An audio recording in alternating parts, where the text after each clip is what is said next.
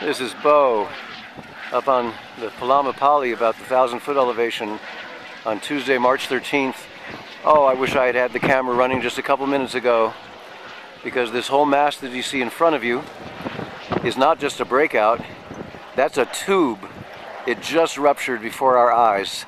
The side of the tube came off. So what you're seeing right there is the inside of a lava tube.